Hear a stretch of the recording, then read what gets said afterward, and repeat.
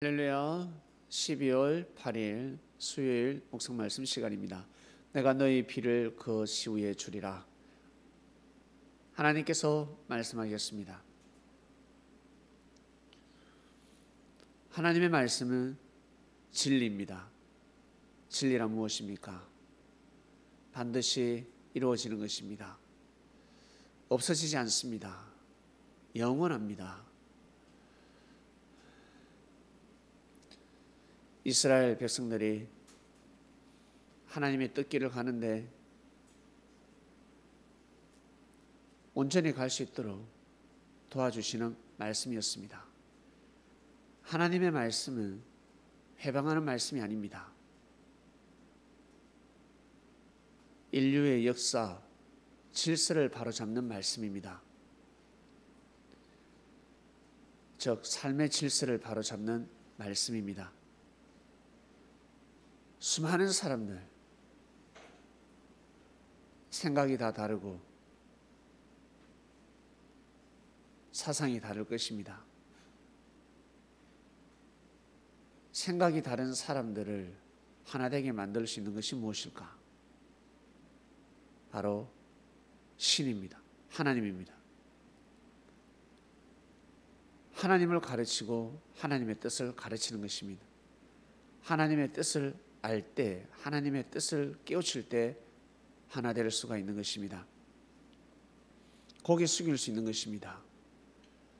도인이 도를 깨달았을 때 많은 사람들에게 고개를 숙일 수가 있습니다.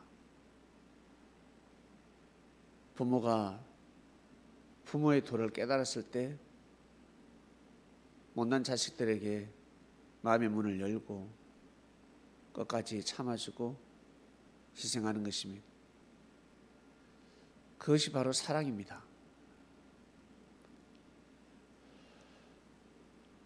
이스라엘 백성들은 결국 해냈습니다. 결국 가나안 땅에 들어갔습니다. 모세 시대 때 가지 못했지만 여호수아 시대 때 들어갔습니다.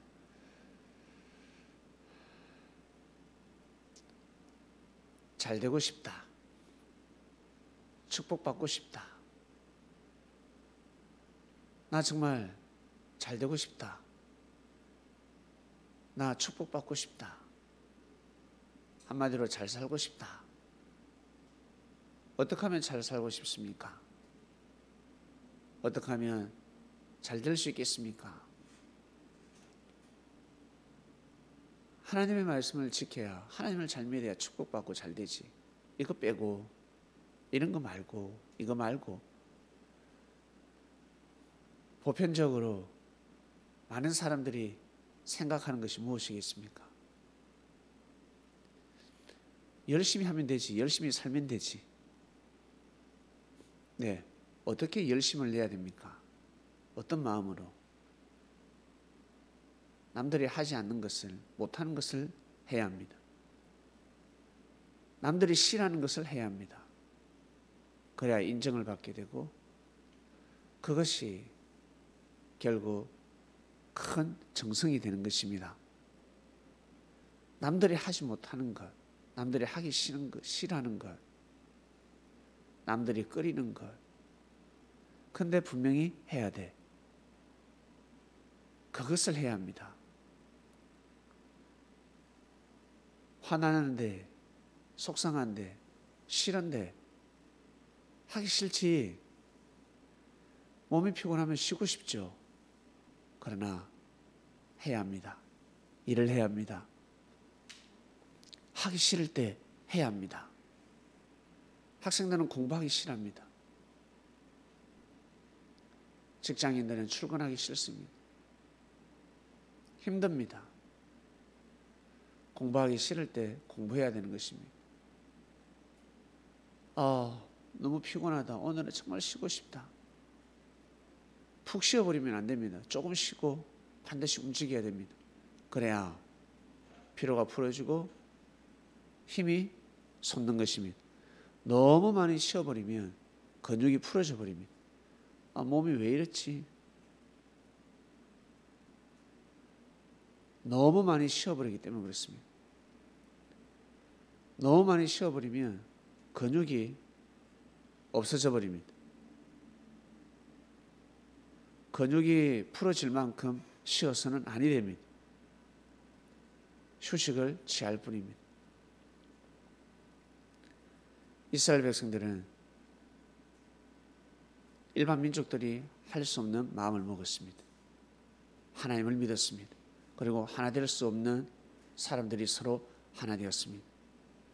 하나님께서 이스라엘 백성들에게 내 규례와 율법을 지키면 즉 내가 너희들에게 때에 따라 주는 말씀을 믿고 따르면 너희들의 뜻이 이루어지리라. 큰 축복을 받게 되리라. 말씀하셨습니다.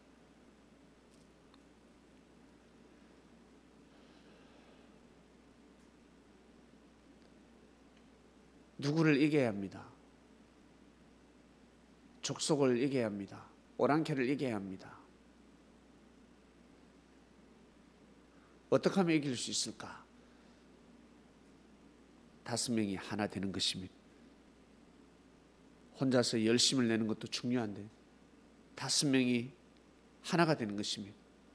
다섯 명이 똘똘 뭉칠 때 몇 명을 백 명을 이길 수 있다 했습니다.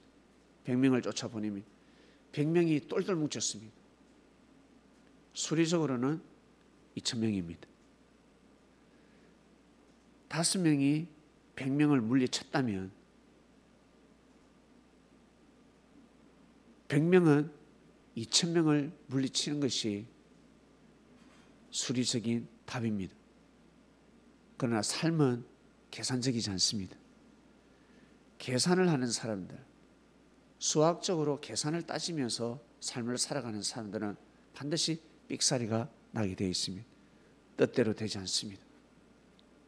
자신의 생각대로 되지 않습니다. 100명이 하나가 되면 만이라였습니다. 만. 만 명을 물리칠 수가 있습니다. 놀라운 것입니다. 힘을 합치는 것은 엄청난 힘을 발산하는 것입니다. 다섯 명이 뭉쳤는데 어떻게 백을 물리칠 수 있을까? 그리고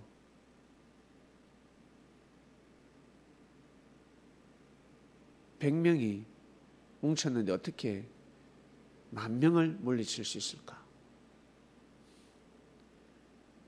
손가락 하나의 힘이 얼마 되겠습니까? 손가락 하나의 힘이. 손가락 하나 하나로 들 수 있는 물건이 만약에 1kg다.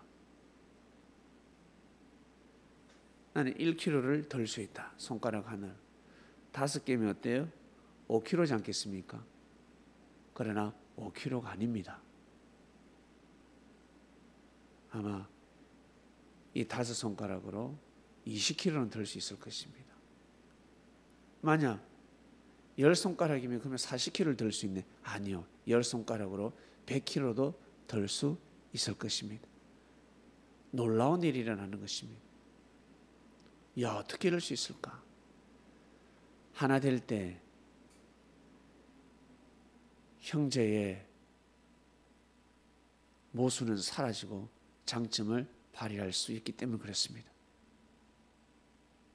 무서운 일이 일어나는 것입니다. 마치 호랑이가 성장한다고 할까요? 새끼일 때와 성장했을 때 달라지는 것입니다. 성장해버리는 것입니다. 뭉친다는 것은 성장해버린 것입니다. 나 한 명일 때는 힘이 작았는데 뭉쳐버리면 그 힘이 성장하는 것입니다. 놀라운 힘을 발산하는 것입니다. 그 속에 들어가는 것입니다. 나 한 명이 그 속에 들어가는 것입니다. 나 한 명이 다섯 명 그 속에 들어가는 것입니다. 다섯 명 그 속에. 나 한 명이 백 명 속에 들어가는 것입니다. 그래야지만이 가난 정복을 할 수 있기 때문입니다. 뜻을 이룰 수 있기 때문에 하나님의 뜻을 이룰 수 있기 때문입니다. 하나님의 뜻을 이루고 싶다. 하나님께서 주신 그 뜻을 이루고 싶다 한다면 반드시 하나 되어야 합니다. 모세를 중심해서 이스라엘 백성들이 하나 되었습니다. 하나 되지 못했을 때는 어떻습니까? 어떻게 되었습니까? 신광야에서 40년을 보냈습니다. 갈 수가 없습니다. 그 정신 가지고서는 그 정신머리 가지고서는 갈 수가 없습니다. 그 믿음 가지고서는 갈 수가 없습니다. 가나안 땅에 가면 또 싸웁니다. 누가 하고 가나안 족속들과 싸우는 것이 아니라 자기들끼리 싸우는 것입니다. 이스라엘 백성들이 서로 서로 자기들끼리 싸우는 것입니다. 그러면 큰일 나기 때문에 하나님께서 불신하는 자는 다 흙으로 돌아가게 하고 때를 보셨습니다. 그 시후에 비를 내려 주시려고 하늘의 뜻, 뜻이라는 문을 시후에 맞게 열어 주신 것입니다. 여러분 개인도 마찬가지입니다. 우리 개인도 마찬가지입니다. 분명히 길을 제시했는데 그 길을 가지 않으면 한동안에 방랑하는 시간이 필요합니다. 그러다가 깨닫게 됩니다. 정신이 번쩍 들죠. 아, 이 길이었구나. 근데 알고 보면 이미 예전에 알고 있었어. 예전에 받았어. 예전에 여기다가 버려버렸습니다. 아, 이제서야 깨닫게 되는 것입니다. 아, 이것이 바로 진리였구나. 하나님을 섬기는 길이구나. 내가 일을 해야 되는 것이구나. 내가 이런 마음을 가져야 되는 것이구나. 이 마음이 중요하구나. 그때를 놓치지 마시길 바랍니다. 그때를 놓치게 되면 또 엄청난 시간이 가야 합니다. 살아생전에 그 기회가 오지 않으면 어떡할려? 이번 주 말씀 내가 너희 비를 그 시후에 주리라 하였습니다. 염려하지 마시고 건신 걱정이 있으시거들랑 더 마음을 굳건히 하시고 그리고 하지 못하는 일, 할 수 없는 일, 그런 마음, 믿음, 그리고 몸을 그렇게 움직이시길 바랍니다. 그렇게 한번 살아보시길 바랍니다. 중요한 것은 다섯 명 속에 내가 들어가는 것이고 백 명 속에 내가 들어가는 것입니다. 어떤 마음으로? 절대 하나 되는 마음으로 내 생각이 내 신념이 중요한 것이 아니라 하늘의 뜻이 중요하다는 것입니다. 그 뜻을 딱 중심에서 나갈 때 놀라운 일이 일어나는 것입니다. 그래서 이스라엘 백성들은 존재할 수 있었습니다. 하나님 아버지 감사합니다. 오늘 말씀을 듣고 하루를 출발하면 날씨가 찹습니다. 코로나가 창궐해지고 있습니다. 감기도 이기게 하시고 그리고 코로나도 이기고 싶습니다. 오늘도 귀한 삶이 되길 원합니다. 올 한 해 하나님의 하나님께 감사해야 될 것, 회개해야 될 것, 마음을 먹어야 될 것 다 이룰 수 있도록 귀한 마무리 시간이 되길 원합니다. 예수님의 이름으로 기도드립니다. 아멘.